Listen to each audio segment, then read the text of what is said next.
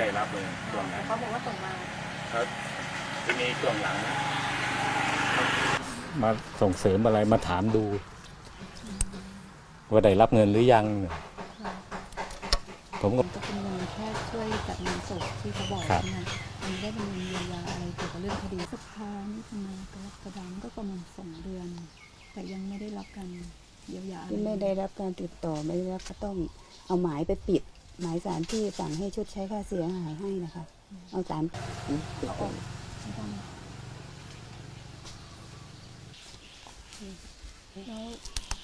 ตอนนี้อยู่กันสองคน ก็อยู่สองคนค่ะลูกชายเขาโทรมาก็บอกแม่นางจะกลับบ้าน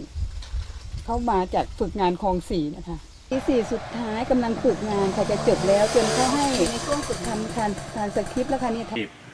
จัดการให้มันสิ้นสุดเลย มันไม่ได้หมดกอดไว้ เพราะว่าเขาบอกแม่กอดนางหน่อย เขาเคยพูดเขาจะชอบให้กอดใช่ไหมเขาชอบให้กอดเขาอยากให้กอด แม่กอดนางเดินกลับมากอดแม่ร้องไห้ใหญ่ร้องทั้งแม่ทั้งลูกทั้งพี่ชายแต่ธรรมศาสตร์ธรรมศาสตร์เขาเลยจัดการรูปให้ค่ะตอนนั้นก็เหมือนแบบถามมาบ้างไหมคดี คดีช่วงไหนครับ คดีเอ่อตั้งแต่เกิดเรื่องมาเลยมีครับ ใครติดต่ออะไรมาบ้างไหมก็ที่ไงเขาเขาก็เลยขึ้นรถไปทางนั้น ที่จริงถ้าเขาออกจากมอลังสิตมา มันเรากลัวอันตรายจนขนาดนั้นน่ะเขาจะไปหาพี่ไงเขาเขาก็เลยขึ้นรถไปทางนั้น ที่จริงถ้าเขา ปมคดีแพรวาเสร็จก็คง ผมอยากให้มันตกลงกันได้ตามที่ศาลสั่ง มันจะได้สิ้นสุดกันสักทีส่วนจะครอบครัวของคุณพ่อคุณแม่ในศาลสั่งให้ชดใช้ยังไงบ้างคะก็ทนายก็บอกว่าสั่งให้อย่างให้คุณแม่นี่ล้านห้าแสนของพ่อนี่ล้านหนึ่งรวมเป็นสองล้านห้าพร้อมดอกเบี้ย อันนี้ก็รอดูว่าเขาจะมี จ่ายหรือหรือไม่นะครับดูแล้วมันคุ้มค่ากับความที่ความคุ้มค่านี่มันก็ไม่คุ้มค่าหรอกครับ ข้อขอให้เคารพศาลศาลสั่งก็น่าจะปฏิบัติตาม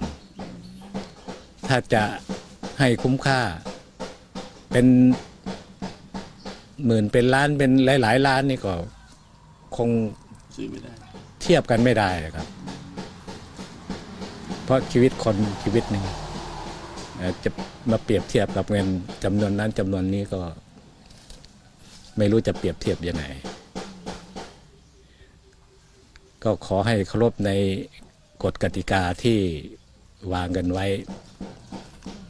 เคารพคำสั่งศาลครับเคารพศาลแล้วก็เห็นใจไอ้พวกที่สูญเสียนะครับอะผมก็ขอฝากแค่นี้เลยครับ ส่วนตัวคุณพ่อของน้องจากไปเก้าปีมีความรู้สึกเป็นยังไงบ้างผมก็ความรู้สึกนี่มันยังไงล่ะครับ มัน ผมก็บอกไม่ถูกเหมือนกัน ตอนที่อยู่ก็ ไปอีกอย่าง ไม่มีเขาก็ไปอีกอย่างหนึงครับ เพราะว่าเขาชอบมาหยอก อะไร